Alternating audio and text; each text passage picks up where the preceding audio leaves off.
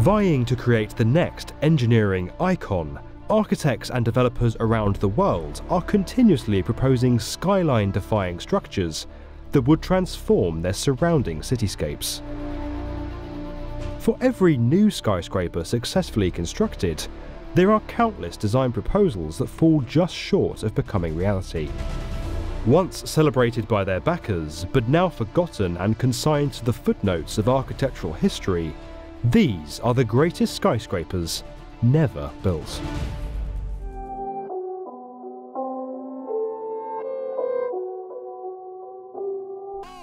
Designed to counterbalance the Eiffel Tower, the Parisian skyline would have looked very different had plans to build Jean Nouvel's 450-metre Tour Sans Fin come to fruition. Proposed in the 1980s for the La Défense district, the skyscraper's name literally translates to the tower without an ending or endless tower. The cylindrical structure would have appeared almost completely black at its base, dissolving at its peak into translucent glass, seemingly dissipating into the sky. This effect would have been achieved by a range of materials, from unpolished black granite, polished stainless steel, and a variety of glass across the building's facade, while panoramic lifts would have offered views across the city. Despite several million US dollars being invested into the early design phases, the economic crash of the early 1990s saw the project cancelled.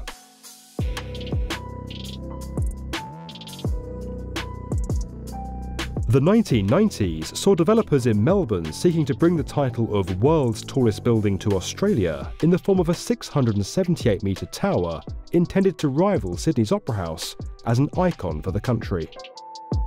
Dubbed by its developer as a monument to Melbourne, the building would have been topped by a dramatic 110 metre high beacon, lighting up the sky and becoming visible from more than 80 kilometres away.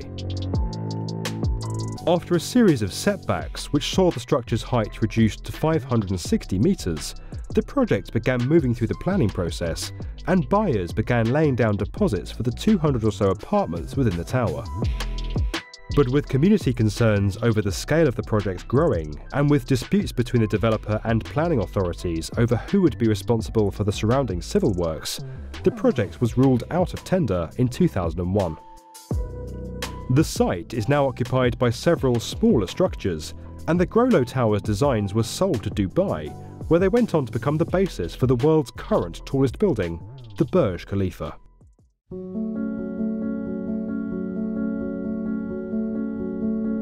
Now occupied by 22 Bishopsgate, the original plans for this site would have seen the more slender, eco-friendly Pinnacle Tower rising on London's skyline.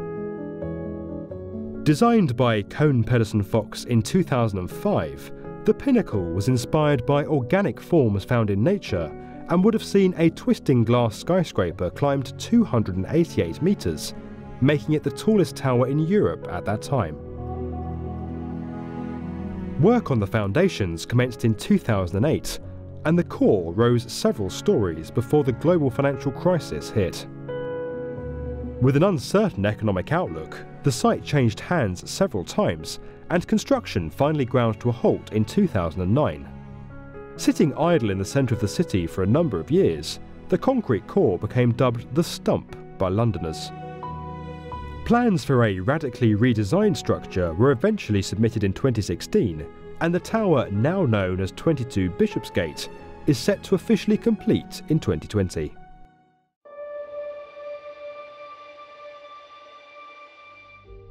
Inspired by the smoke signals of Native American tribes, Santiago Calatrava's plans for a 610 metre spiralling glass tower in Chicago would have dramatically changed the city's skyline.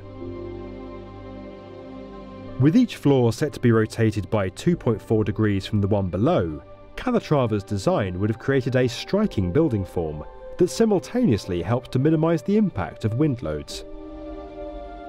The 150 story structure would have been topped with an observation deck offering views across the city and into four neighbouring US states. Construction started in 2007, but like London's Pinnacle, the project soon became a casualty of the 2008 global financial crisis. The large foundation hole on the site is still visible today.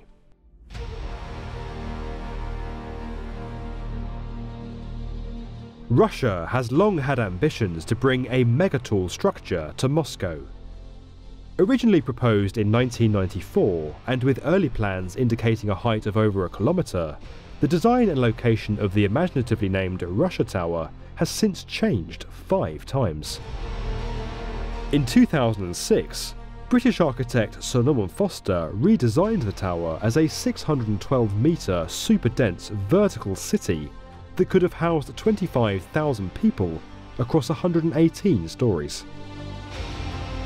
The tower was said to be the tallest naturally ventilated skyscraper in the world, with a triangular plan and an open green spine. Foster borrowed many elements from the cancelled Millennium Tower in Tokyo, a conceptual unbuilt skyscraper that was to rise 800 metres above Tokyo Bay.